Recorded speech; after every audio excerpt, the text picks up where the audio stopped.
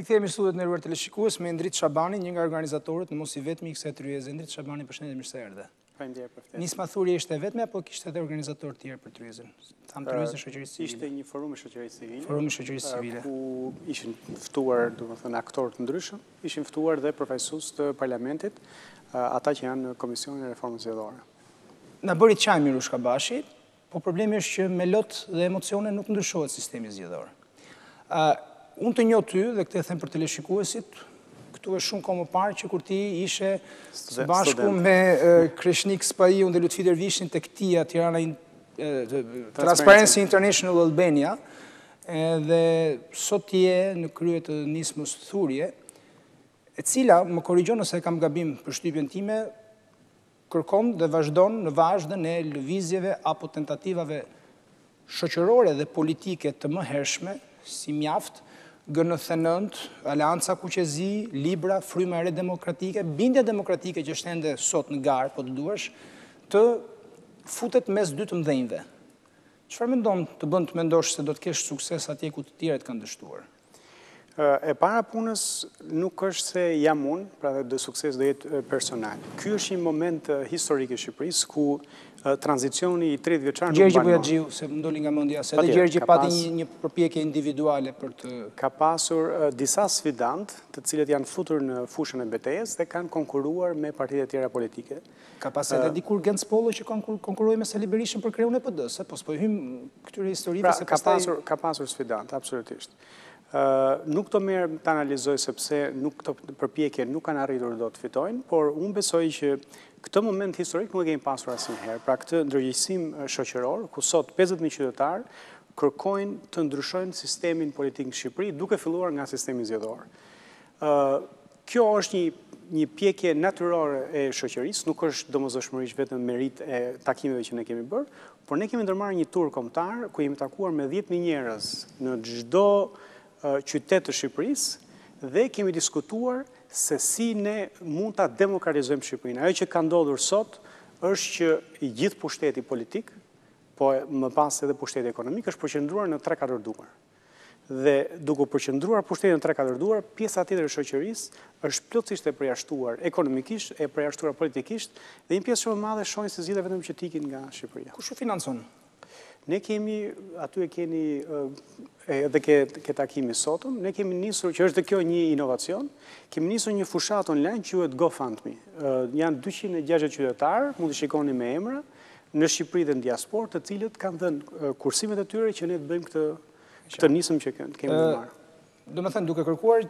Që nuk e gjen këtë, për shembull nuk e ka bërë askush, asnjë organizatë tjetër, asnjë përpjekje tjetër, nuk është bërë për ta bërë qytetarin bashkë, bashkëpjesëmarrës në një nismë qytetare. Ju synoni të paraqiteni në zgjedhje si forcë politike me lista, listë qytetare, si? Nuk është... Ligji aktual, siç është aktualisht, kërkon të bëhesh forcë politike, të konvertohesh në forcë politike. Edhe një herë, ne kemi në këtë moment, kemi një fushatë, që është ndryshimi i sistemit zgjedhor. Ajo që ju thoni është një gjë të cilën do ta shqyrtojmë, do ta diskutojmë, do ta vendosim, nuk e kemi vendosur sot. Po, sot... Do ecim në gjurmët e Vetëvendosjes. e cila ishte një lëvizje, u konvertua në një forcë politike. Pra, ose Mjafti, e cila nga lëvizje kaloi në G99, u bë një forcë politike. Unë e di që lëvizja Mjaft vazhdon edhe sot e kësaj dite të jetë shoqatë, por nuk jo, ka rëndësi. Mjafti vazhdon, po, them bërthama e Mjaftit. Vetëvendosja është një shembull inspirues për shqiptarët, jo vetëm në Kosovë, edhe në Shqipëri, se si disa ide mund të të kalojnë nga artikulimi publik në shoqëri civile? Nuk kërkoj të të më thuash tani, po, ne do, unë do kandidoj për kryeministër jo, jo, po, po e fus diskutimin në këtë pjesë. Nuk e përjashtoni, nuk jo, thoni jo. Jo, jo, nuk e përjashtojmë, nuk e përjashtojmë, sepse ne po shohim që e para këta s'kanë ndërmend ta bëjnë, pra ne po shohim që kjo klasë e tranzicionit politik, që në fakt janë 5 burra gjithsej, këta nuk kanë ndërmend ta ndryshojnë situatën në Shqipëri, dhe nuk ka ndoshta dhe përgjegjësinë për ta ndryshu situatën në Shqipëri. Si mendoni ju se mund t'ju favorizojë ju si eventualisht një forcë, një listë, një si të doni ta quajmë? Nuk e kemi bërë këtë llogari sepse nuk na intereson kjo pjesë. Kur të vijë koha, ndoshta mund t'i bëjmë. Si mendoni juve se demokratizon hapja e listave, ndërkohë që për një parti si Partia Socialiste apo Partia Demokratike, listat janë ato që do vendosë Endri Xhafo, kryetari i partisë? E ndoqa Ramën që tha ekzaktësisht këtë gjë, që pse lodheni... Rama e ka thënë, mund ta ketë thënë, ta ketë artikuluar, unë ia bëj këtë pyetje këtu e dy muaj çdo personi që më vjen nga të gjithë këta që mendojnë se hapja e listave, të gjithë këta që janë miq, se nuk po e them me përçmim, më më më kupto, do më thënë të më kuptojnë. Zonjës Hajdari, ia kam pyetur, zotit Murrizi, domethënë të gjithë ata që e mbrojnë këtë. Ia kam bërë këtë pyetje, dhe kjo është pyetje vetvetiu e natyrshme, nuk është se... Nuk e thashë për jo. asocimin, jo, thjesht po them që e ndoqa, e ndoqa Ramën, po. se jo, përse po por në rastin e tij është interesante që ai vetë nuk e ka frikën, ta thotë publikisht që partia ime s'ka asnjë lloj demokracie, po, po, po ky është ai që vendos listat. Më kupton, por po gjithsesi, propozimi që ne kemi dorëzuar në parlament, që është një projektligj me 53 nene, Kërkon dhe që t'ja heqi këtë mundësi kryetarit të partisë dhe të sanksionojë që në KQZ të mos regjistrohet asnjë parti e cila nuk vërteton që janë bërë zgjedhjet primaries për kandidatët. Po gjithë e lëmë mënjanë, e lëmë mënjanë, e lëmë mënjanë, e lëmë mënjanë. E marrim të mirëqenë që kryetari i partisë do bëjë listat. Hapja e listave e prish biznesin e shitjes të vendeve në listë. Tani t'i themi shqiptarëve gjë që është e vërtetë. Shiten vendet në listë.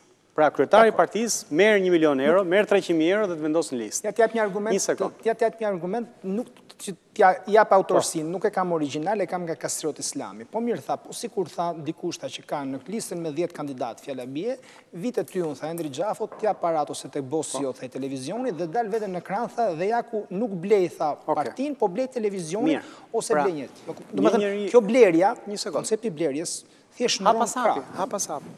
Pra, zoti Islami, Selami, ka pranuar... Islami, Kastriot Islami. Ah, oke. Njohës i mirë i këtij sistemi... Po, që na i ka bërë peshqesh këtë sistem që kemi bashkë me Ramën atë kohë. Po s'ka jo, rëndësi, e lëmë mënjanë. Shiko, Kastri... E lëmë mënjanë, se nuk është, nuk është e rëndësishme jo, për këtë diskutim. Jo, se duhet të jem fer me zotin Kastriot Islami. Kastriot Islami, Oerd Bylykbashi, ishin zbatuesit teknikë të një vullneti politik. Biem dakord që ky është sistemi i Edi Ramës, nuk ka asnjë pasojë. Jo i Edi Ramës, i Edi Ramës dhe Sali Berishës, është vullnet politik i dy partive për qëllime politike. Të dyve, të dyve. Pra, ka pranuar, një njohës kaq i mirë sa zoti Islami, ka pranuar që ekziston mundësia që po të hapim listat, nuk e blen më vendin në listë te kryetari. Jemi dakord? Pra, zoti Islami ka propozuar që në moment që hapim listat, ai do vijë në media dhe do ja mbushi mendjen publikut që të votohet ky. Apo jo? Kjo është argumenti. Po, ky është argumenti, po. Tani, nuk më thoni ju, ka njeri që nuk e njef këto personazhe që kanë dalë tani në parlament nga kërpërata, korporata e të gjithë format? Fakti që ne i njohim, nuk do të thotë që ne do i votojmë. Pra, fakti që ju do të nxirrni në televizor dikë këtu, nuk do të thotë që qytetari sa ta shohë në televizor do të shkojë ta votojë, sepse duke dalë në televizor, njëkohësisht do e do ekspozohet. Pra, ne një kriminel nuk ja mbushim dot mendjen qytetarit po e nxorëm në televizor. Një analfabet nuk ja mbushim dot mendjen qytetarit që ta një sekond, ama sot ata njerëz i kemi në parlament ne, 10 kriminelë i kemi në parlament, pse? Sepse ai ka kalu filtrin e kryetarit dhe kryetarit ja mbush mendjen shumë kollaj që ta fusi në listë Para një listës do të bëhet deputet. Kështu që do ndryshojë kjo gjë. Një sekundë, Endri, te kjo gjë do shkoj se domethënë duhet të them, pavarësisht se kë blen, blen kryetarin dhe këtu po pranoj logjikën tënde, sepse pa fakte, ose pa fakte që të mund t'i vërtetoj, unë s'mund ta them këtë. Potencialisht po, po ekziston po. mundësia. Ekziston mundësia. Pra, blihet vendi në listë, blihet media, ose shkon dhe blihet qytetari, po shumë thjesht. Patjetër. Tani, uh, unë besoj. Jam dakord, por kjo e fundit është demokraci. Pra, kur ai... Që të shkosh të blesh qytetarin. Po. Do më thënë, është demokraci. Në qoftë se ai do shkojë dhe do blejë 2 milion shqiptarë, dakord, ka blerë një popull të tërë. Dhe unë besoj që është më e pamundur, është më e vështirë që ti të blesh një popull të tërë, sesa të blesh një kryetar. Po një sekundë, është më kollaj të blesh një kryetar. që të zhduket sistemi i qarqeve, 12 qarqe, 12 zona elektorale? Ne kemi 53 nene. Një nga gjërat që ne propozojmë... Se unë me sa di unë është korrektim kombëtar. Jo, kjo është ky është propozimi që ka dalë rrugës, është mbështetur nga ambasada amerikane, por duke qenë se këta nuk duan të heqin dorë nga qarqet. Por mos hyjmë në teknikalitete. E para është hapja e listave. Pra hapja e listave prish biznesin e shitjes vendeve në listë, një. E dyta, na jep neve si qytetarë pushtetin për të zgjedhur kush shkon në parlament. Dhe pse thonë këta që një sekond se qytetari mund të blihet? Sepse nënkuptojnë që po e hapim listën, këtë vendim s'do ta ketë më kryetari, do ta ketë qytetari. Tani unë besoj që qytetari është më i ndershëm se sa kryetari i partisë. Pse e mendoj këtë? Se është e pamundur të thuash që dy milionë shqiptarë janë të korruptuar. Një sekond, nuk do ta pranoj argumentin mos hyjmë në teknikalitete, sepse i gjithë ky argument i teknikaliteteve Merr vlerë në rast se flasim për një sistem proporcional rajonal ose proporcional kombëtar, sepse ky 2 po, milion po, qytetarë që ti thua popull votues, copëzohet në 12, po. dhe copëzimi i votës bën që mund të marrësh në rang kombëtar, pra të marrim për analogji Shtetet e Bashkuara të Amerikës, mund të marrësh në rang kombëtar shumë më tepër vota dhe kur ajo përkthehet në vota sipas qarqeve, të dalësh e humbës. Ka një sistem që ne nuk e mbështesim, që është sistem mazhoritar. Faleminderit që ma sollët si argument, ne kemi kërkuar jo, proporcional kombëtar. Ju pra, kërkoni proporcional kombëtar. Pse kombëtar, për këtë arsye që ju thatë. Pra, që të mos të copëzohet vota në disa qarqe, dhe pastaj Kukësi e ka pragun elektoral 34%. E di pra, prandaj po marr pra, shumë, 4 deputetë ka Kukësi. tridhjetë e dy, tridhjetë e katër dhe mund të zbresë edhe në tre qoftë se ka lëvizje demografike, sepse çdo zgjedhje bëhet një shikim. Po, po. Tridhjetë e dy për qind të votave që shkojnë për një kandidat pavarur në Kukës, ato ikin. Por nuk është se eliminohen ato, i merr ai që është i pari i po. pa partia më e madhe që është Edi Rama. Po. Pra, Edi Rama në zgjedhjet e fundit ka marrë shtatë mandate që ua ka marrë partive që kanë qenë kundër Edi Ramës. Pra qytetari ka hedh votën kundër Edi Ramës dhe ka prodhu një mandat për Edi Ramën. Kjo është arsyeja pse ne kërkojmë proporcional kombëtar. Por po përqendrohesha tek hapja e listave sepse ajo është në mënyrë direkte jo, hapja e mundësisë për hapja e listave në një proporcional rajonal nuk ka vlerën që ti thua se do të kishte në një proporcional kombëtar. Prandaj duhet të bëjmë marrëveshjen e fjalës për çfarë do flasim, do flasim për proporcional kombëtar apo proporcional rajonal. Prandaj ne insistojmë dhe projektligji që ne kemi dorëzuar, projektligji që është mbështetur nga 50.000 qytetarë është proporcional kombëtar. me lista të hapura për t'i zgjidhur këto probleme ku ti voton për njërin dhe vota shkon për dikë tjetër. Pra është manipulim ligjor. Pra ne themi zgjedhje të lira dhe të ndershme. Okay. Fatkeqësisht nuk është zgjedhje e ndershme në qoftë se ti me ligj ia merr votën qytetarit dhe prodhon mandate si do qejfi yt, siç fakt këta kanë bërë me këtë sistem. Ka një nismë ligjore nga tani kjo puna e, e, e emrave dhe numrave Endri Xhafo, njëri vë firmën njëri heq firmën domethënë po rreth diku tek tridhjetë, që është më shumë se numri njëzet e tetë i nevojshëm që një grup deputetësh të kërkojnë në parlament ndryshim të kushtetutës dhe ajo që kërkohet të paktën nga çfarë ka dalë publikisht është që të kemi dhe heqje të koalicioneve e mbështesni ju këtë shiko ajo që sepse ju pyes sepse po, partia demokratike me të drejtë zoti Paloka e tha që partia socialiste mund të dali forcë e parë Por, domethënë, ideja është që... Shiko, sapo e tha, sapo e tha, a është që sharangi kjo, po nëse, e lëmë si bisedë. Shiko, ka një gjë. Domethënë, të djathtët në Shqipëri... Nënkryetari i PD-së thotë që partia socialiste do dali partia e parë, e kupton tani se çfarë, se unë nuk e besoj. Të po djathtët, të djathtët janë të shpërndarë në disa forca politike. Kështu që të djathtët, me të drejtë, mund të mendojnë se si pol e djathta mund të jetë më shumë se sa e majta. Dhe koha ka treguar që ndonjëherë ka. Kurse nëse i heqim këto, pra ka një unë me sa i njoh shifrat e zgjedhjeve, me sa i kam parë, ka një një një një ndrojtje, një frikë të përligjur deri diku duke pasur parasysh dhe fragmentarizimin e së djathtë sot që flasim. Agron Duka thotë unë do dal vetëm për shembull. Kupton? Bindja demokratike ka dalë më vete e të tjerë e të tjerë. Fryma re demokratike më vete, po, këto janë po, vota të djathta që shpërndahen. dy gjëra. Andaj ju pyes se çfarë qëndrimi kanë ka ka Thurja në këtë rast. Frika e PD-së mua më duket e pajustifikuar sepse unë nuk mendoj që Edi Rama mbas kësaj që i ka bërë shqiptarëve. Sot ne kemi zyrtarisht 300.000 të papunë. Pra ka ardhur në pushtet duke premtuar 300.000 vende pune dhe po lë në fund të pushtetit 300.000 vende pa 300.000 të papunë. ka marrë borxh publik më shumë se ç'kanë marrë gjithë kryeministrat bashkë për 20 vjet. Dhe ka shumë arsye për të mos besuar që Edi Rama do dali parti e parë. Po e lëmë mënjanë këtë.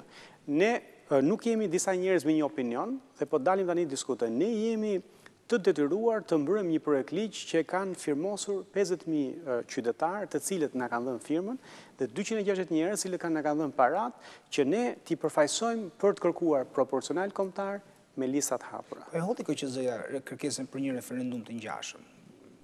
S'ka, nuk ishte kërkesa jonë ajo. Ne kemi dërguar një projektligj në parlament, ku kërkojmë proporcional kombëtar me lista të hapura. Kjo është ajo që ne mbrojmë, sepse mbrojmë atë të cilën qytetarët na kanë kërkuar, na kanë mandatuar. Që edhe kjo kërkon ndryshime kushtetuse. Mënyra se si ne kemi propozuar, ne kemi organizu disa konferenca, një prej të cilave kemi marrë disa konstitucionalistë më të mirë në Shqipëri. Kemi sjellë... Kush? Emra, konkret. Po, zoti Zaharia, ka qenë disa aktorë të tjerë që ndoshta unë nuk më kujtohen tani të gjithë emrat. Ka qenë në 17 dhjetor në kjo hotel Tirana, ka qenë një nga tryezat besoj me përfaqësim më të mirë nga pikëpamja akademike. Komentimi ka qenë që mund të bëhen ndryshimet pa qenë nevoja për ndryshu kushtetutën. Gjithsesi, ajo që dua të them është që ne mbrojmë këtë model.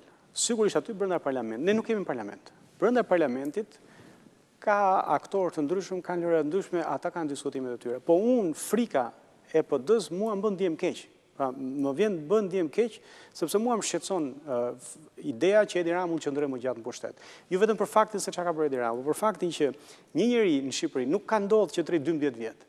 dhe me tendencat autoritare që ka Edi Rama, po të rrijë dymbëdhjetë vjet unë shqetësohem seriozisht për demokracinë. Tani shoh opozitën që thotë që ne kemi hall thotë se Edi Rama del forcë e parë. Mua kjo nuk më nuk më tingëllon mirë si gjë, po Tani, gjithsesi, ti nuk je kjo është strategjia e tyre dhe kjo është vetë 12 vjet më parë, 13 vjet më parë kur unë të kam njohur që ishe një djalosh i ri, 22-23 vjeçar, ti sot ke edhe një formim akademik jashtë shteti, edhe Je në krye të një gjëje që nuk besoj se je i pandërgjegjshëm që ta dish që zgjedhjet me frymë në Shqipëri për herë të fundit janë fituar në 92-shin. Pra zgjedhjet në Shqipëri fitohen edhe me organizim. Zgjedhjet fitohen edhe me strategji. Meqë të mora shembull Amerikën, po ta marr dhe një herë shembull Amerikën. Në zgjedhjet e fundit, zgjedhjet u luajtën me 79.654 vota në mos gaboj, pra diku te më pak se 80.000 vota në vetëm tre shtete që ato shtete po i përkthejmë në qarqe për të dhënë një paralelizëm shqiptarëve për ta kuptuar, pra një sistem me qarqe që kemi neve. Dhe pavarësisht se Hillary Clinton i fitoi në të gjithë Amerikën më shumë se gati rreth 3 milionë vota më shumë se sa Donald Trumpi, Donald Trumpi u bë president.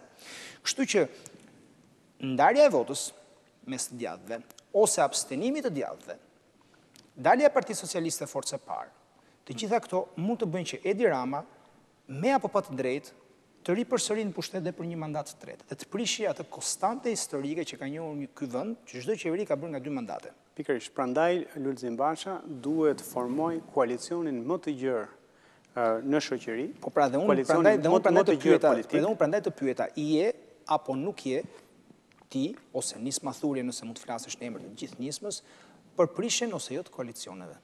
Nuk është një çështje që realisht nuk duhet përshqemi, nuk i kam bërë, nuk i kam studiuar me detaje, jam i paqartë se ça po propozojnë në parlament, janë një tufë me propozime që kanë shkuar atje, unë besoj që nuk duhet penguar askush të formojë një koalicion parazgjedhor apo paszgjedhor. Pra, Paszgjedhor është tjetër, koalicioni parazgjedhor bën të mundur që ato votat që ti the në Kukës, t'i marrë shporta e madhe. Pra shporta e madhe do të thotë që votat e republikanëve që nuk prodhojnë dot një mandat, t'i marrë Partia Demokratike ose shporta e madhe, sepse ka dy formula matematikore që përllogarisin se si ndahen mandatet me këtë sistem që kemi, dhe t'i marrë shporta e madhe. Pra çdo forcë, çdo votë anti-Ramë të maksimizohet në kampin kundërshtar. Kjo si është dakord. Dhe do ishte në të mirë të Shqipërisë që Partia Demokratike të përfaqësojë sa më shumë popull opozitar, duke përfshirë brenda listave, sepse unë kam parë që Partia Demokratike dalngadalë ka larguar nga vetja, ka nxjerrë nga listat e veta njerëz të cilët mund të kishin mobilizuar shumë më tepër njerëz kundër Edi Ramës, duke bashkuar me sa më shumë forca dhe kauza opozitare në Shqipëri për të ndryshuar, për të sjellë një rotacion politik, por nuk mjafton. Ajo për të cilën ne po luftojmë është të ndryshojmë sistemin politik që edhe kur nesër të vijë Lulzim Basha kryeministër, mos jemi këtu dhe të themi Basha ik. Por të kemi mekanizma institucional që e kontrollojmë dhe nuk e lëmë të na dalë nga kontrolli. Ky është, kjo është, mua kjo më shqetëson.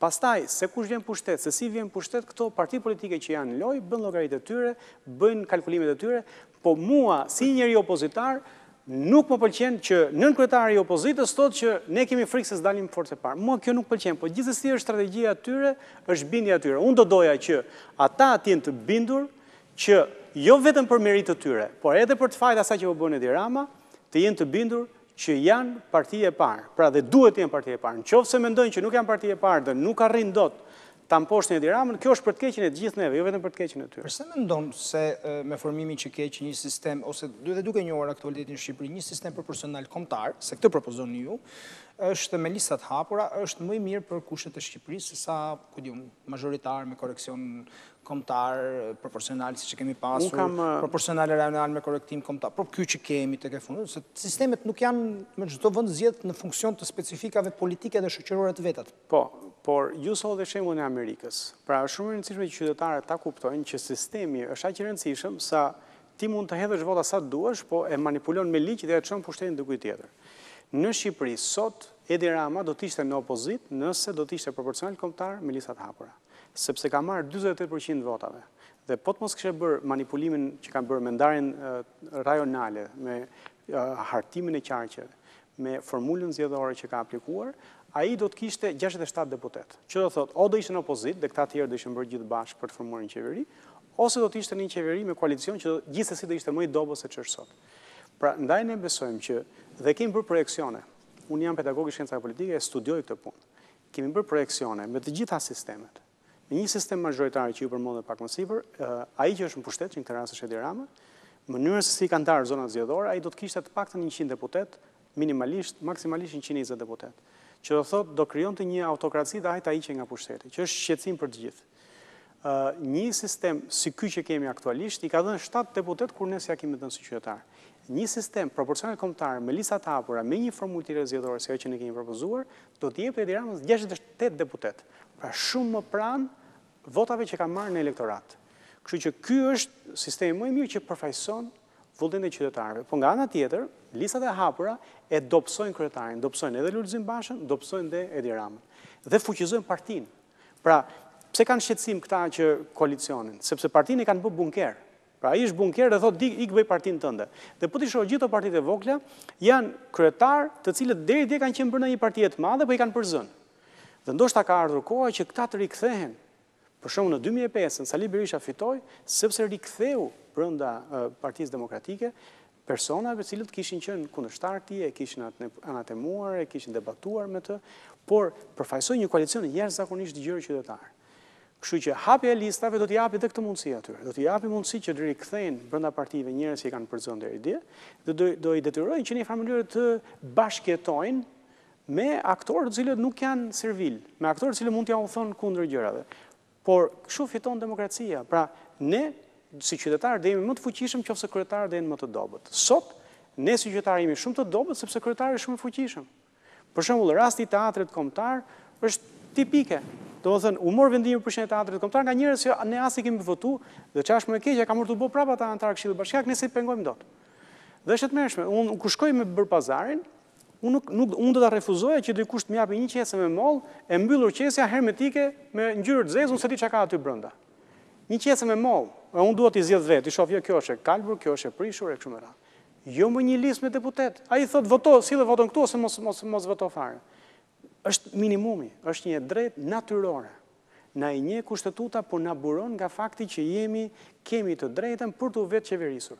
Na kanë mohu të drejtën për t'u vetëqeverisë.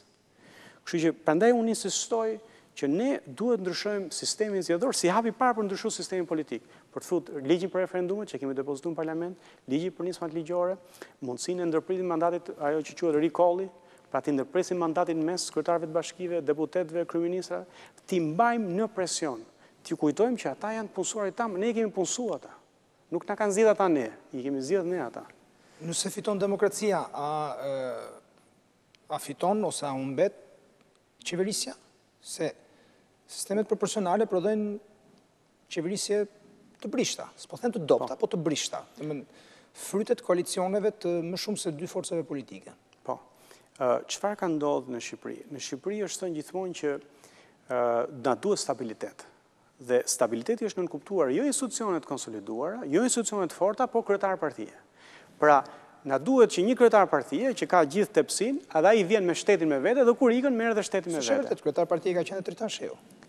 Jo, jo, kryetar partie në kuptimin e sistemit që kemi aktual. Shiko, është fatkeqësi, po në dy mijë e pesë ka qenë vendi më demokratik se ç'është sot, ë? Kemi pas një sistem zgjedhor dhe ka qenë më demokratik se ç'është sot. Përgjithësi, ajo që ne kërkojmë është institucione të forta, qeveri të dobta. Institucione të fuqishme, kryetarë dhe politikanë të dobët. Pra kryetarë dhe politikanë të shkojnë e të vijnë, po institucioni të qëndrojë. Jo që vijnë këta me shtetin me vete dhe ikin me shtetin me vete. Shihe Belgjika. Ju e keni ndjekur? S'kishte nevojë fare për qeveri. Shikon çfarë ndodh në Angli. Ka sistem federal Belgjika. Ka ndërtuar institucione të konsoliduara. Pra, kur ti ke institucione të konsoliduara, ç'rëndësi ka se kush është ministër apo kryeministër. Por kur institucionet janë të dobëta, ti rri e shikon drejt e në sy atë. Dhe problemi është që ky është stabiliteti. A janë të kënaqur qytetarë, nuk kemi të kënaqur. Stabilitet më të madh se Enver Hoxha unë nuk besoj se ka pas ndonjëherë. E kishte gjithë parlamentin e vet. Kjo nuk është, nuk nuk jetojnë më mirë njerëzit në në diktaturë. Kështu që le ta prodhojë një qeveri të dobët, sepse do na detyrojë të kemi institucione të forta. Endrit Shabani, fole si opozitar, the që je opozitar. Në rast se Partia Demokratike do të ftonte në kuadër të një Hapje që pritet të ndodhë, por që nuk ka udhëzim të brendshëm për momentin dhe nuk dihet ende se si teknikisht do bëhet zgjedhja e kandidaturave për deputetë, por nëse Partia Demokratike të fton të jesh pjesë e saj, do shkoje? Të jesh, domethënë se shiko, të jesh opozitar, nuk do thotë detyrimisht të jesh i djathtë. Pyetja fillestare, je i majtë apo i djathtë? Ideologjikisht. Unë jam aq i rritur sa pak a shumë ta kem një qartësi se ku qëndroj ideologjikisht. Problemi është që kur flas me miq që janë të djathtë, më thonë që ti je i majtë. Kur flas me miq që janë të majtë, më thonë që ti je i djathtë. S'ka gjë, kështu ndodh edhe me mua, po s'ka problem. Domethënë, ajo që për mua është e rëndësishme, unë kam përshtypjen që e kam një gjë unë e di, një gjë që unë e di është që unë e urrej autokracinë. Dhe një nga arsyet pse kam qëndru larg, me gjithë se kanë qenë janë krijuar mundësitë dhe hapësirat dhe ftesat, partive politike është sepse unë e urrej disiplinën autoritare që partitë kanë. Të treja partitë që sot ekzistojnë, kryetarët e partive zgjidhen o me 98% është njëri, o tjetra s'ka qenë vetëm kandidate e vetme, kur ai tjetri e ka hequr mundësinë për të zgjedh. Dhe unë nuk të pranoj... Do ndiheshe mirë te LDK-ja? Lidhja Demokratike e Kosovës që e marrë... Ju pedagogët e politikës, që jepni shkenca politike, e merrni LDK-në si shembullin e vetëm ndoshta të partive në komplet hapësirën mbarëshqiptare që ka një minimum demokracie të brendshme? Shiko, mua... Apo nuk... Mua më vjen keq që fakt Kosova po na mëson, më vjen mirë që Kosova është mirë, po më vjen keq që ne jemi shumë mbrapa Kosovës dhe Kosova po na jep leksione demokracie të vazhdueshme. Do doja që ne Tani, leksione demokracie ndoshta është pak e tepruar. Na ka dhënë fakt, na ka dhënë. Na ka dhënë. Po na ka dhënë për shembull Vjosa Osmani është një fenomen që nuk do ekzistonte brenda partive shqiptare, sepse nuk ekziston mundësia që ti të votosh për kandidatin. Ë paktën ato që mënyrën se... Qoftë edhe Ramë, tani po kujtohem, qoftë edhe Ramush Haradinaj, i cili thirret si dëshmitar dhe jep dorëheqjen. Jep dorëheqjen. Vetëvendosja, Albin Kurti, një parti politike me principe dhe e pa, jo e gatshme për të, për të hequr dorë nga ato që ata besojnë që janë çështje madhore dhe të rëndësishme. Kjo çon intransigjencë. Niveli, dakord, po ama nuk ke, domethënë ne na është mbushur politika në Shqipëri me pazarxhinj.